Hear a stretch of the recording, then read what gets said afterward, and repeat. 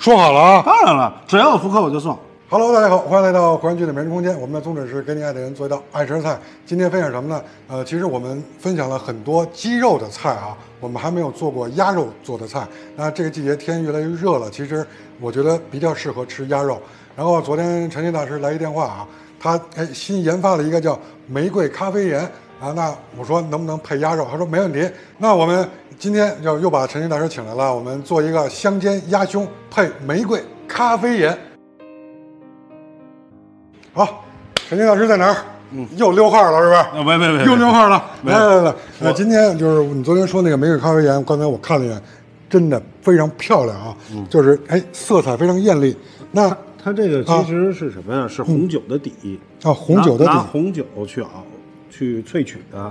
这个有点粗是吧？粗，这粗粒的。啊然后你可以尝一口，它后边尾部是有点辣，一点点辣，加了日西班牙烟熏的辣椒，层次特别多，那还真是哎，哎说不出来，就是香料味。复合复合的复合的感觉。对，你看在这舌尖打转，完了呢，配了点什么呀？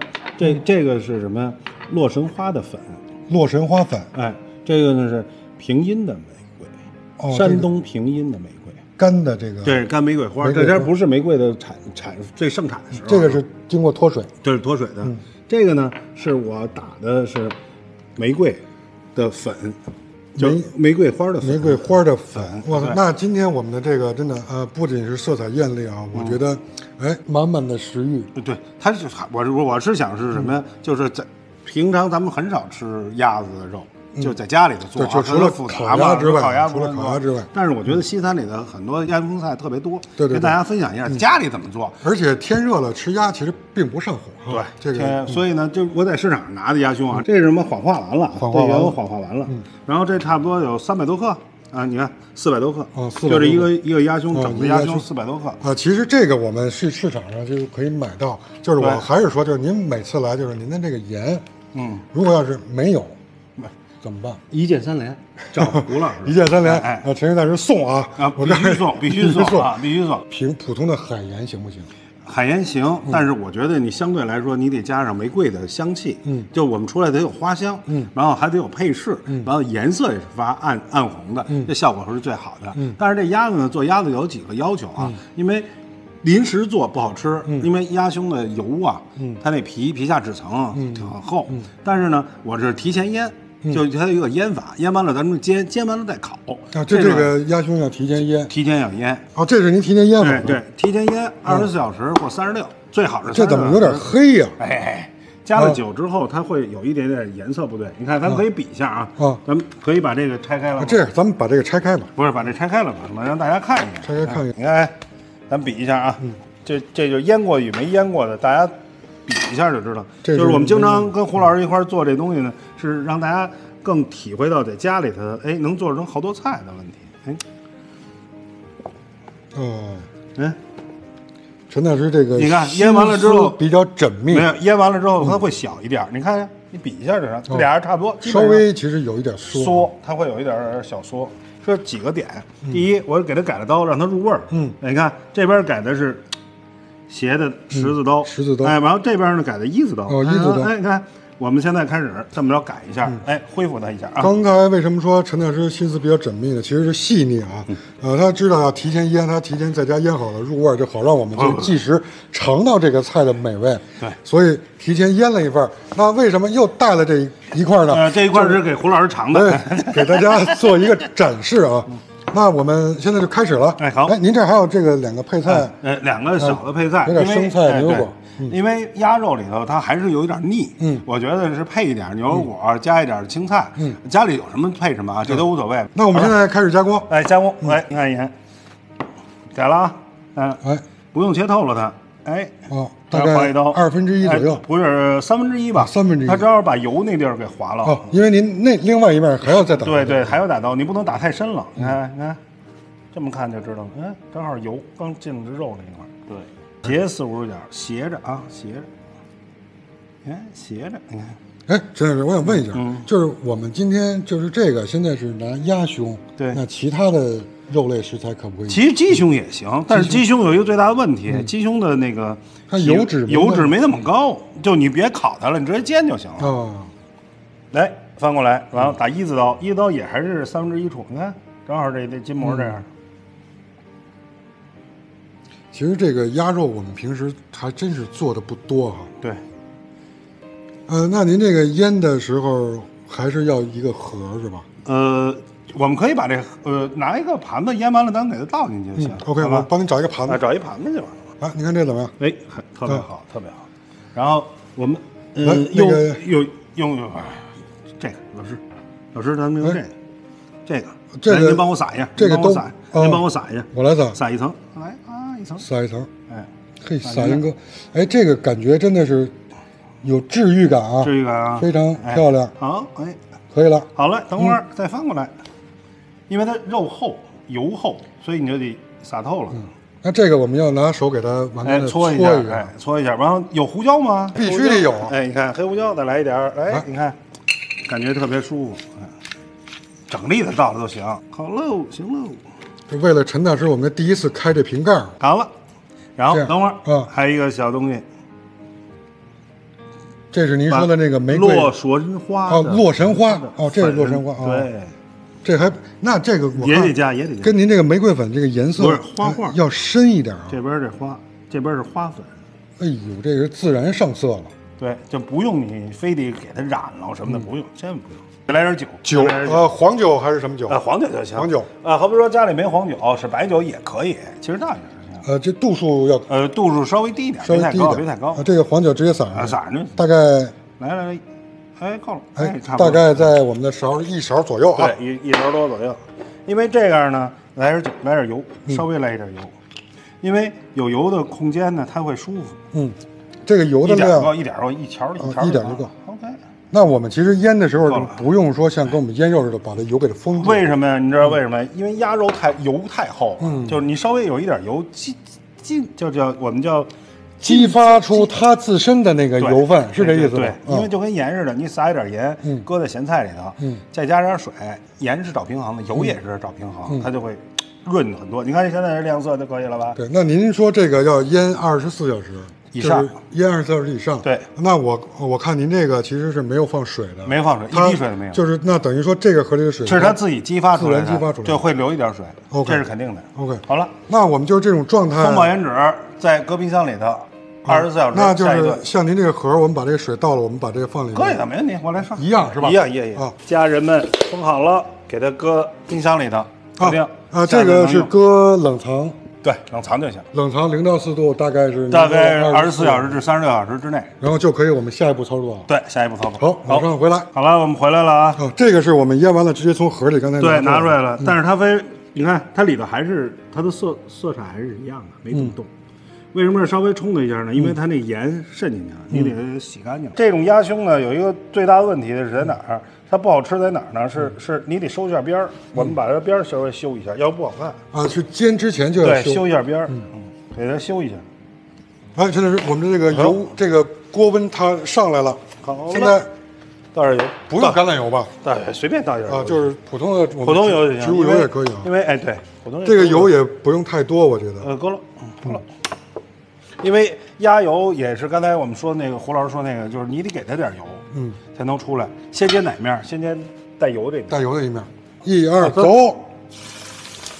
哇，看到它那感觉了吗？还是要注意安全啊。嗯，就是他会家里边要见这摄影师，已经见到摄影师了啊。好，这个先让他定一下型。看看看看这颜色，哇，翻面好，关小火了。啊，关小火。嗯，呃，这个要是再烤制的话，呃，这个煎的目的就是让它两边要都都都焦黄，焦黄感。嗯，焦黄感。啊，看这油了吗？油倒多了。嗯它一下就收缩了，咔就收缩了。这个油，哎，您您说这个里面会不会也有水分？有，因为鸭子里头含水量很高的。嗯就是所以说我们在家里就烹饪，真的，尤其是做陈大师这个菜的时候，还是要注意安全。这个还真是跟那个煎牛排的那个感觉基本上是一样的啊我们把这个四边也给煎一下，然后对，让它油封了。煎焦黄。嗯，然后我们还要再进烤箱进行烤制。看这效果，嗯，因为所有的禽类都有体味，就是它自己的体味就是来自于水和油。嗯，哎，那这个油我们煎完了这个油还可以再可以的，可以再用。可以好，把它先倒出去，这个芹香味儿还真是比较那个。它有味儿。嗯哎，那现在这种状态还是小火，我们把还这个有还是备煎，你得你看你看你看还在出水，还在出水还在出油出油，看看，这你得备着。啊，那这个这个菜，我觉得其实应该是很香的。来，胡老师帮我撕张锡纸，锡纸，对来了。家里都有啊，基本上都会有。锡纸的大小就是把它给包住就可以了。，对，啊，把这个放在锡纸上。我们那个烤箱已经二百二十度预热了二百二二百二都预热完了啊，预热完了。太厉害了，这个你都需要需要包一下是吧？你都有。嗯，哎，最简单的对角，嗯，对角，对角，叫叫清真包子。那我们把这个去烤箱啊，来，陈老师，来，我们这个烤箱还可以啊，预热了啊。我去，我不至于啊，五分钟我们设定，好，五分钟马上回来，我这都来了啊！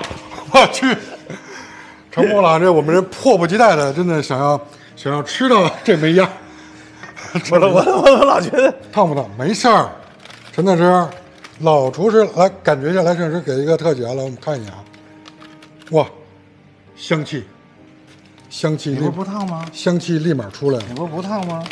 来来来来来，我们感觉一下，哇，你看这个这个油分啊，换一个砧板，换一个我们我们这就是熟食砧板。啊熟食砧板。我们这就是熟食砧板，这个刀也已经洗过了。啊，嗯，这是最佳的状态。那就要一点点血丝，当然了，要一点血丝啊，多好啊！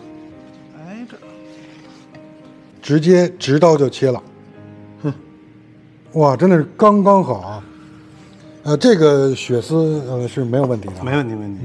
这种鸭肉在西餐来说，比这生的可能还厉害。嗯，这已经现在效果是最佳的了。嗯。就中国人吃没问题，一点问题都没有。看，看，这是效果。就是如果您要是实在是感觉就是吃不惯这种带血的，就是还可以时间再长一点，嗯，但是那个可能要就老了老老啊，就老了，因为这种鸭胸是最佳的状态，嗯外头脆，嗯里头半熟，嗯嗯，呃，就是我们购买这个鸭胸的时候有没有什么窍门儿要注要注意的？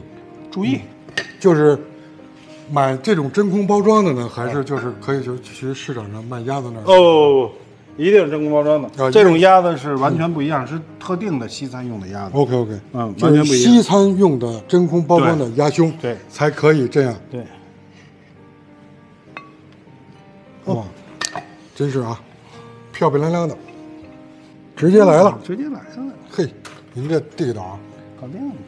其实这个就是增加一个盘式，啊，然后这个牛油果，如果要是没有牛油果，没有牛油果是找胡老师一键三连，胡老师什么都有。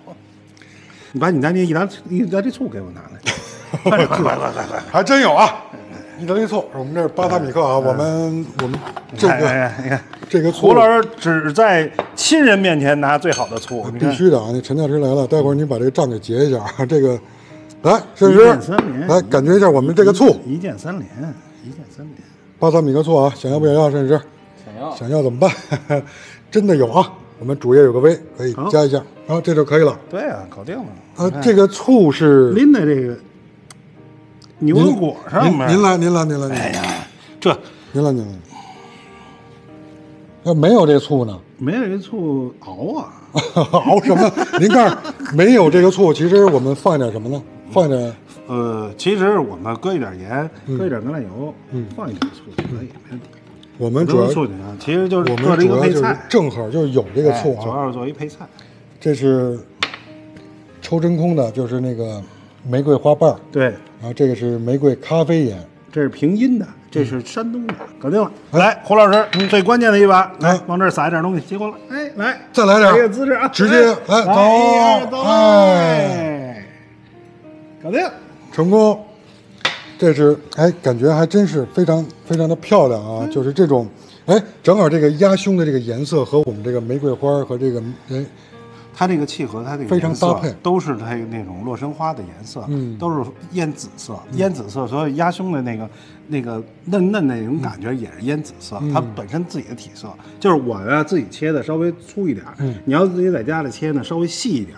片一块儿，嗯。因为我们还是接近于什么大块儿吃肉，大块儿肉片，吃起来那种香气，你可以现在闻啊，那是。这压这玫瑰的香气，我不用凑过来，就是我这样，就是已经能感觉到了。玫瑰的香气，呃，就是感觉什么呢？就是嗯我们吃那个云南那个玫瑰饼，嗯就是加热之后的那个那个香气。您那个香气呢更纯粹一点。对那个玫瑰饼感觉有点什么？它必须往里打东西，啊因为为什么？因为它没法凝固。嗯这个呢就是纯纯粹，为什么要纯粹呢？因为我们用的是玫瑰花瓣、嗯玫瑰花粉、洛神花粉，然后拿红酒熬的萃取的水，然后再加咖啡再去做，所以它的层次啊哎，香气完全就不一样了。呃，我再问一下啊，嗯就是这个如果要是没有我们这么多，就是您这个萃取也好，那我们就是拿普通的海盐，行不行？也可以，但是一定会差一点。嗯为什么那？香气所有的香气都会差一点。为什么？就在烹饪学里头，有油、有水、有酒、有食物才会好。OK，那今天这个呢，其实要是学会，我觉得很容易，但是这个调味儿还是得找陈大师，就是这个盐一键三连盐这个事儿，胡老师送哎，一键 一键三连的，谁克复刻我送。我们回头说好了啊，当然了，只要有复刻我就送。说好了啊那我们粉丝朋友，我们谁要谁要复刻，弹幕评论全都可以啊。那这个您学会了吗？学会了，真的您要给您爱的人做起来，这个颜色啊，尤其是给您心爱的女士做起来，嗯或者是给您的小朋友哎做起来，正好。呃，陈老师说了，就是十岁左右的小朋友小朋友吃最好适合吃这个菜。真的喜欢我们，别忘了给我们点赞、关注、一键三连，这对我们真的非常非常重要。那今天就是这样，啊、下一次陈老师再给我们做一个什么菜啊我们先预定好了啊，预定好啊，啊，做一茄盒吧。茄盒，哎茄盒我们没做，我们做过藕盒。哎，我们做一次茄盒。好，好吧那我们怎么做茄盒？那我们请听下回分解。今天就是这样，我们明天见，拜拜。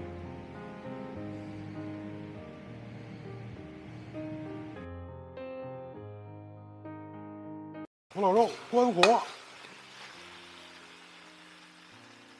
哇，你看我们这个料真的是很足啊！Hello，大家好，欢迎来到黄君的美食空间。我们的宗旨是给你爱的人做一道爱吃的菜。今天我们分享什么呢？一道传统的粤菜——菠萝古老肉。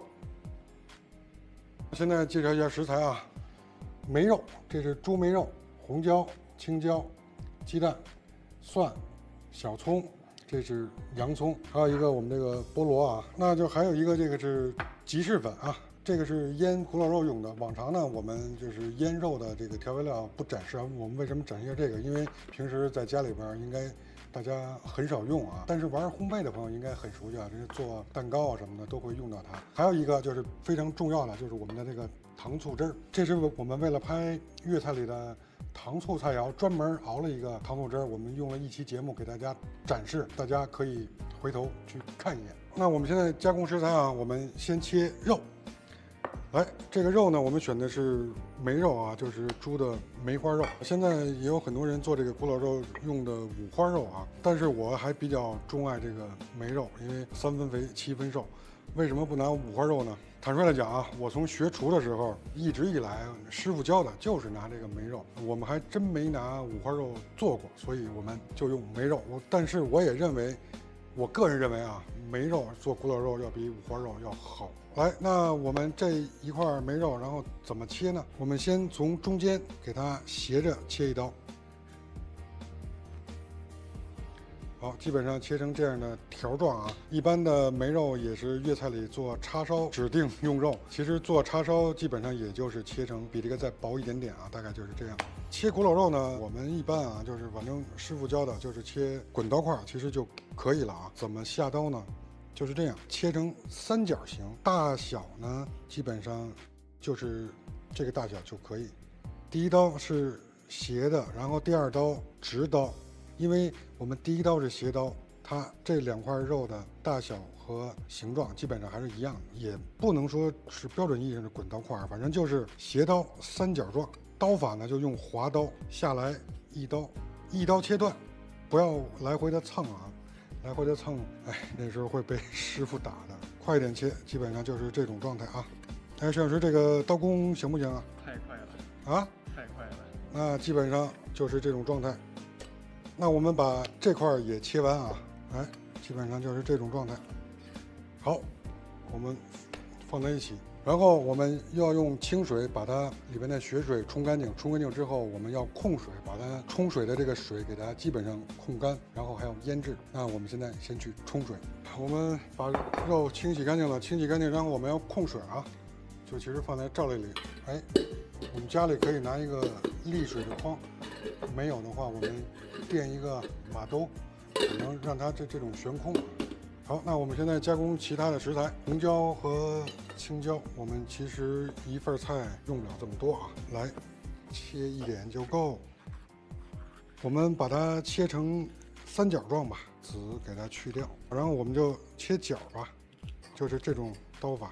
好，我们放在这儿，给大家看得更清楚一些啊，就是这样。红椒其实我们已经洗干净了，然后青椒是一样的操作啊。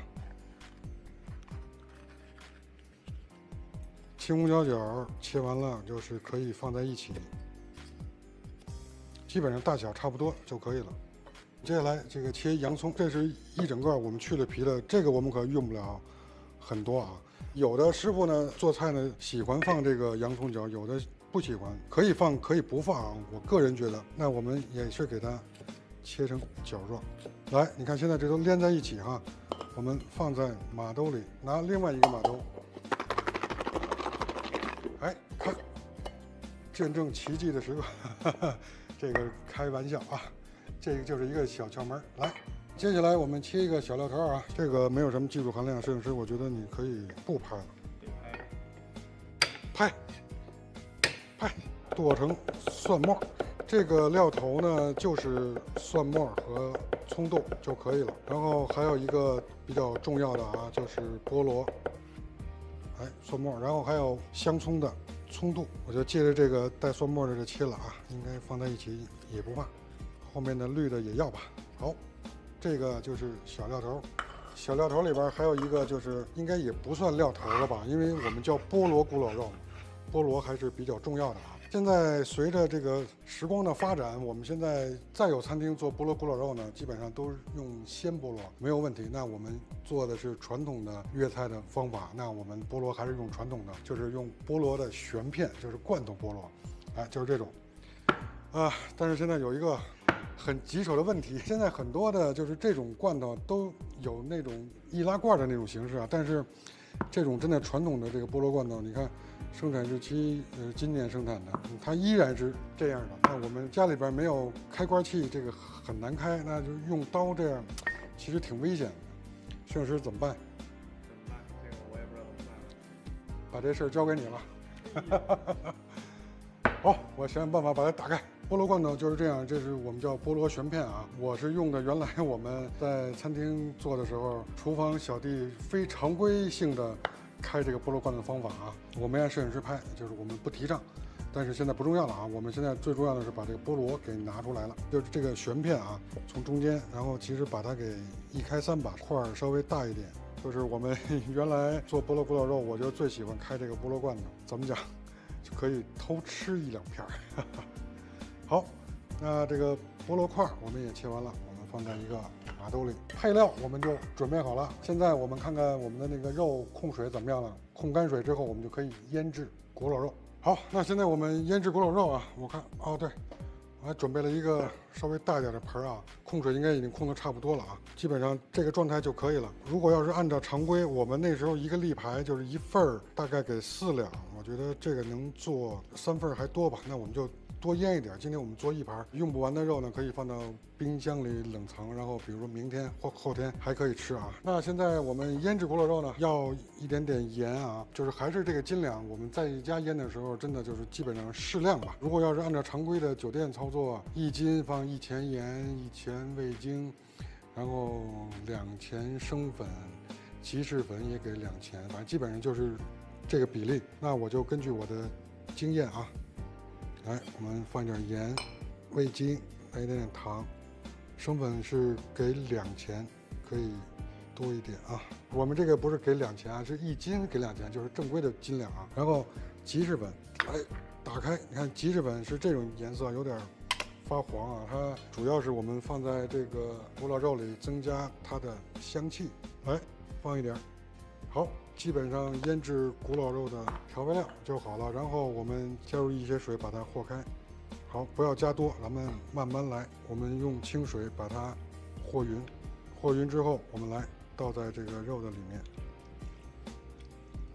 来，用两个手抓一下它。进入我们的这个活源剧美食空间来看我们的视频，那我觉得，那你就接受我的方法了。就是很多人腌古老肉，他们用他的方法，那百花齐放，百家争鸣啊！你也不要说我的不对，你也不要说别人的就怎么样。刚才放进的水已经吃进肉里了，这个时候我们再加点水啊，来，循序渐进。腌制完了以后，如果要是一次用不完的话，放进冰箱冷藏可以放。我个人觉得啊，在零度左右一个礼拜应该是没有问题的。刚才我们第二次打的水又吃进去了，那我们继续加水啊，少量多次。古老肉呢，就是可以腌的让它更加润一点。还有一点我要特别提示一下大家啊，在腌制比如说猪肉、牛肉的时候，我们腌完了以后。我们会用油拌一下，但是腌古老肉不用加油。哎，继续搅拌。哎呀，刚才我说这个问题的时候，摄影师，其实你应该问我，为什么这个不用加油？我也在思考，是因为肉的水分吗？因为我们这个 是需要炸制，炸之前还要用玉米淀粉或者是生粉，就是土豆淀粉，我们要用粉再裹一下，来。哎，你看啊，现在我们加了第几次水？这是第四次。第四次水，这个肉你看，就是感觉有点水润的感觉。但是你看，就这个盆，你感觉不到水，是不是？没有水，水都在肉里了。我们就是像这么大的马兜，我们基本上加了半马兜左右了。来，再加一点点。好，基本上到这个程度，我们这个古老肉就腌制完成了。但是还差最后一个环节，就是我们要往里面再打一个鸡蛋。嚯，这有点翻车了啊！你不介意吧，摄影师？我不介意。粉丝估计介意了啊！尽情吐槽。我们这边很光滑啊，这不适合磕鸡蛋。来，我们把这个鸡蛋。搅匀，基本上古老肉腌制完成了的样貌就是现在这样。现在我们可以把它放在一旁静置五到十分钟吧，然后我们就可以上粉，然后炸古老肉了。我们先放在一旁炸古老肉，我们刚才说了要上一下粉，我们这个是生粉啊，把古老肉放在里面蘸一下粉啊。这个粉呢，其实不用太多啊，就是把每一块肉都让它沾上粉就可以了。好，现在全部上完粉之后，我们就可以炸了啊。放在一边。那现在我们炒锅烧热啊。好，炒锅烧热，我们加入油啊。这个油是我们之前炸其他食材剩的油啊，可以反复利用。什么时候下锅呢？古老肉，我们稍微等一下，大概在五六成热的时候，润一下锅。好，现在油温差不多了啊。你看那个筷子下的有点起泡啊。这是我们关中小火啊，我们放入古老肉，放进去我们就先不要动了啊。我们炸古老肉要炸两遍，第一遍呢，其实最重要的目的呢，就是要让它熟。然后我们第二遍的时候呢，油温高一点，就是让它外酥里嫩。好，我们把肉都放进去，大概两分钟吧，两分钟左右，我们可以推一下啊。好，现在依然保持中小火啊。其实这个古老肉啊，老外特别喜欢啊。就是你看，我们只要在国外唐人街有中餐馆的地方，这个古老肉，尤其是这个酸甜口的，所有的菜肴都是老外也都非常喜欢的。可能老外知道中餐，基本上除了一个这个古老肉，然后就一个羊肉炒饭。但是现在可能不一样了啊！现在我们的中餐走向世界，让更多的老外知道了我们有更多的美食。好，基本上第一遍我们五六分钟可以了啊。我们现在。把它给捞出来，然后我们现在把火关一下啊。好，那我们先把这个古老肉先放在一旁。好，我们要第二遍炸古老肉。第二遍炸古老肉，让它油温稍微高一点，在八成左右。肉瞬间放里面，然后就瞬间捞出，基本上在十五秒以内啊。第二遍呢，就是让它外酥里嫩。很明显啊，油温上来了。现在我们复炸。摄影师，你看这一遍炸下来，是不是它的这个声音明显就响了很多？呃，火大了吗什么什么火大了？我们就要这个油温要八成热。好，现在可以捞出来。你看，现在我们外面应该是非常脆的啊。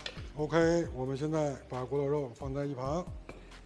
那现在我们炒锅回来啊，这个锅不用刷，然后我们再加一点点油。哎，然后我们先把蒜蓉、葱豆这个小料头放入，放入之后，我们倒入洋葱，先把它炒香。炒香洋葱，倒入青红椒角。在炒香之后，我们倒入菠萝啊。我们今天这这个料真是都是加倍。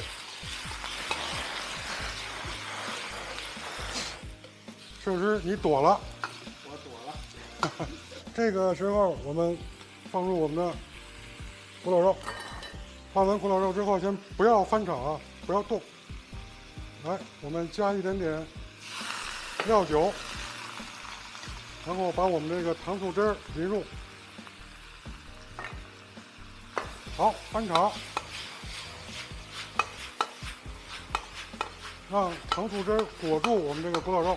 好，现在我们要快速出锅。出锅之前勾一点点小薄芡。好，准备出锅，点一点点明油。古老肉关火。哇，你看我们这个料真的是很足啊！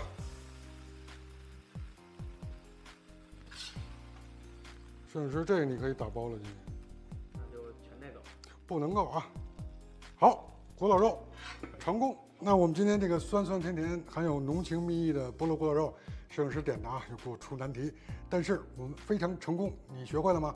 学会了，别忘了给你爱的人做起来吧，他一定会喜欢的。还有喜欢我们，别忘了给我们点赞、关注，一键三连，这对我们非常重要。感谢，明天见，拜拜。